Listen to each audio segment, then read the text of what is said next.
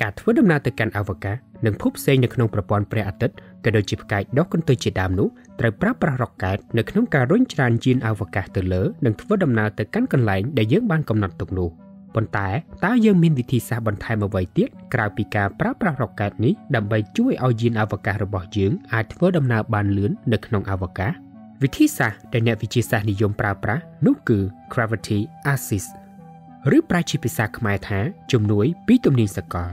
ទំនាញសកលគឺជាកម្លាំងនៃការទាញគ្នាទៅមករវាងម៉ាស់ទាំងអស់នៅក្នុងចក្រវាឡរបស់យើងអតិពលនៃទំនាញសកលនេះមានការថយចុះទៅតាមចម្ងាយរវាងម៉ាស់នីមួយៗប៉ុន្តែมันមានន័យថាវាបាត់បង់ឬគ្មានកម្លាំងទំនាញនោះទេចំណែកឯ gravity axis គឺជាទំនាក់ទំនងរវាងល្បឿននៃយានអវកាសជាមួយនឹងភពដែលវាប្រើប្រាស់នៅក្នុងការទទួលបាននូវជំនួយនេះដែលមានភាពតាក់ទងជាមួយនឹងច្បាប់នៃការបំលាស់ប្ដូរ angular momentum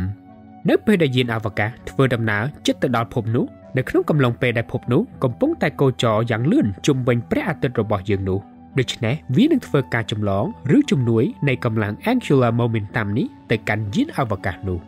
ដើម្បីទទួលបាននៅ gravity axis នេះយានអវកាសត្រូវចាប់ផ្ដើមធ្វើដំណើរតាមកន្លងកោចរជុំវិញព្រះអាទិត្យដែលមានភាពស្រដៀងគ្នាទៅនឹងកន្លងកោចររបស់អាចផ្កាយ នៅពេលដែលវាធ្វើដំណើរមកគៀកជាមួយនឹងគោលដៅរបស់វាឧទាហរណ៍ដូចជាភពប្រហោះឬភពផ្សេងផ្សេងទៀតនៅក្នុងប្រព័ន្ធព្រះអាទិត្យរបស់យើងជាដើមយានអវកាសនោះត្រូវធ្វើការបន្ថយល្បឿនរបស់វាដើម្បីចាប់យកនៅទំនាញសកលនៃភពនោះនៅពេលដែលយានអវកាសនេះទទួលបាននូវល្បឿនបន្ថែមនោះភពដែលត្រូវបានយើងប្រើប្រាស់នៅ gravity axis នេះនឹងបាត់បង់ល្បឿនប៉ុន្តែដោយសារតែម៉ាស់នៃភពគឺមានទំហំធំប្រសិនបើប្រៀបធៀបជាមួយនឹងម៉ាស់នៃយានអវកាសនោះ ដូច្នេះការបាត់បង់ល្បឿននៃភពគឺស្ទើរតែគ្មាននោះទេ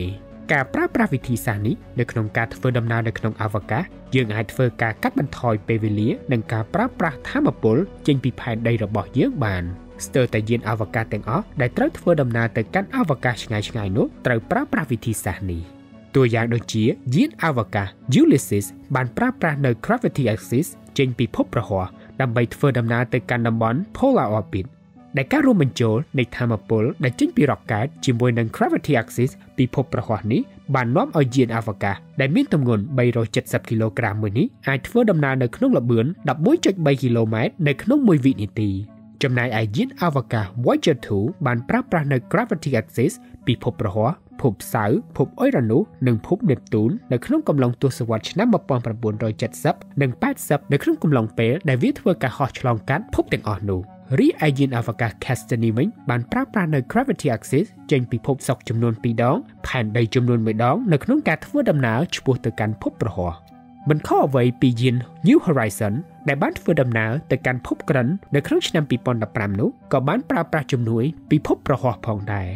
ដូច្នេះការប្រើប្រាស់នៅ gravity axis នេះគឺជាវិធីសាស្ត្រមួយនៅក្នុងការធ្វើដំណើរនៅក្នុងអវកាសដែលមានភាពចំណេញពេលវេលានិងធម៌ពល។